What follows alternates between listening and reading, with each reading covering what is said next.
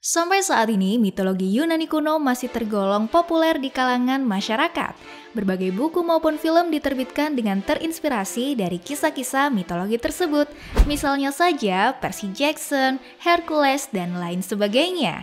Setelah perang Titanomesi yang dimenangkan oleh para dewa, dunia berada di bawah kekuasaan dewa-dewa Olympus. Sesuai dengan namanya, dewa yang tinggal di Gunung Suci Olympus tersebut memang berjumlah 12. Tapi pernah nggak sih guys, kalian penasaran tentang siapa sih sebenarnya dewa yang paling kuat di Olympus? Penasaran? Ini dia dewa paling kuat di Olympus versi Epic Vice.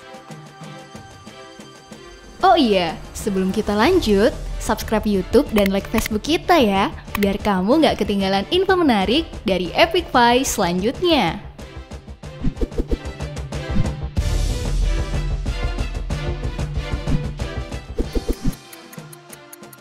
Zeus Zeus merupakan keturunan dari Kronos dan Rhea.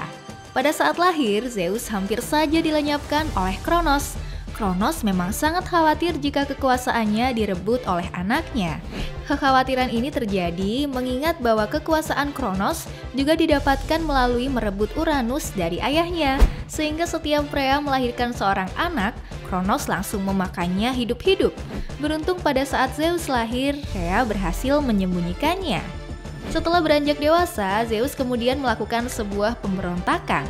Ia berhasil memenangkan perlawanan terhadap para titan dan menyelamatkan saudara-saudaranya yang ditelan oleh Kronos. Setelah kemenangan tersebut, Zeus kemudian ditasbihkan sebagai raja dari para dewa.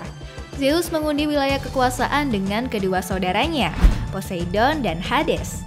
Hasilnya, Zeus menguasai langit, Poseidon menguasai lautan, dan Hades menguasai dunia bawah.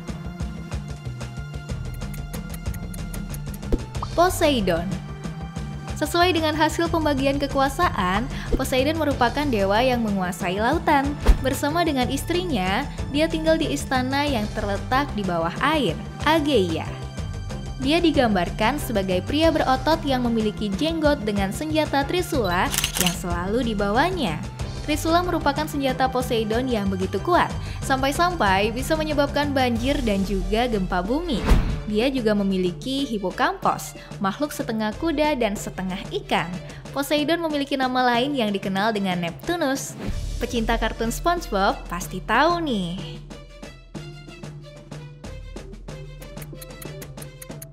Hades Hades adalah putra tertua dari Kronos dan Rhea. Sesuai dengan kesepakatan, Hades ditugaskan untuk menjaga dunia bawah. Dia merupakan penguasa bagi siapa pun yang sudah mati. Meskipun demikian, dia bukanlah dewa kematian. Dia hanya menguasai yang sudah mati saja. Memiliki penampakan yang suram, membuat Hades sering kali dikira sebagai dewa yang jahat, meskipun nyatanya tidak demikian. Dia sering digambarkan memakai helm kegelapan yang membuat pemakainya tidak terlihat. Selain itu, dia juga memiliki anjing kepala tiga yang sering disebut dengan Kerberos. Hades dinobatkan sebagai dewa yang paling kaya di antara dewa lainnya.